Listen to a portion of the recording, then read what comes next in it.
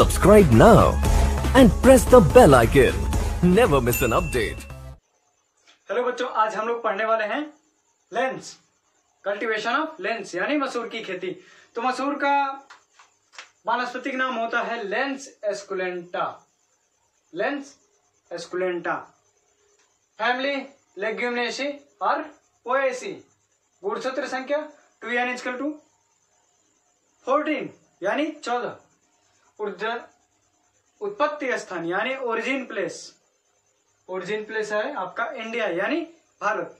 Protein इसमें कितना प्रतिशत पाया जाता है? तो वो ट्वेंटी फाइव प्रतिशत प्रोटीन पाया जाता है। किसमें? लेंस में। इसके लिए उपयुक्त मृदा कौन सी है?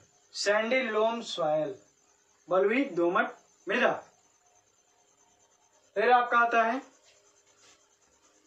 एक डिज़ीज़ है इंपॉर्टेंट डिज़ीज़ है। इससे ज़्यादा क्वेश्चंस नहीं बनते हैं, ठीक? ग्रासी स्टंटेड डिज़ीज़ ये किसके माध्यम से होता है? तो ये पीपीएलओ और माइकोप्लाज्मा या फाइटोप्लाज्मा तीनों एक ही है। माइकोप्लाज्मा भी कह सकते हैं, पीपीएलओ भी कह सकते हैं मेल्लो भी कह सकते हैं और फाइटोप्लाज्मा भी कह सकते हैं, ठीक?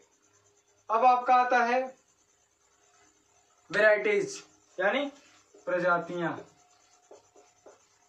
प्रजातियाँ।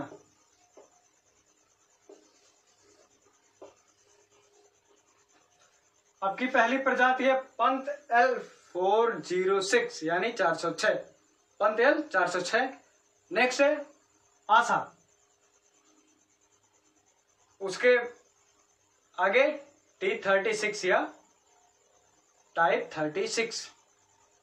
फिर आपका बी आर ट्वेंटी फाइव। ये बी आर का मतलब होता है, इसका ये कहाँ से रिलीज़ हुआ है? ये बिहार से रिलीज़ हुआ है। ये बी आर डिनोट इसको कर रहा है ये बिहार से रिलीज़ हुई है। फिर आपका नेक्स्ट और लास्ट आता है रंजन। लेंस से ज़्यादा क्वेश्चंस नहीं बनते हैं। हाँ लेग्यूमिनस क्रॉप में कितने प्रतिशत कार्बोहाइड्रेट पाया जाता है?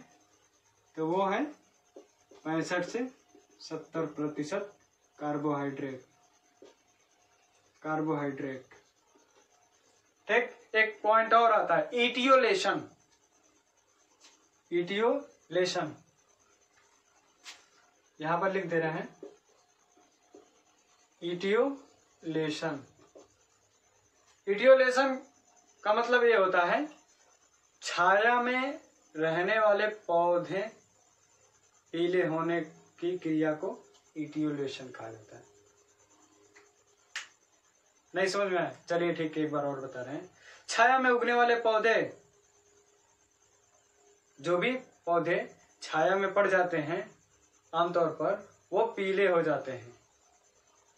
उसी क्रिया को हम इटियोलेशन कहते हैं, या उस दशा को हम इटियोलेशन कहते हैं। शिवर में नाइट्रोजन कितना पाया जाता है? ये क्वेश्चन पूछा गया था 2017 यूपी कैडेट में शिवर में नाइट्रोजन कितना प्रतिशत पाया जाता है? तो 2.5 से तीन प्रतिशत नाइट्रोजन फाउंड इन शिवर ठीक? ये आपका लेंस कंप्लीट बाकी बीच बीच में आपको जो भी पॉइंट छूट जाएँगे तो मैं आगे बता दूँगा। Thank you class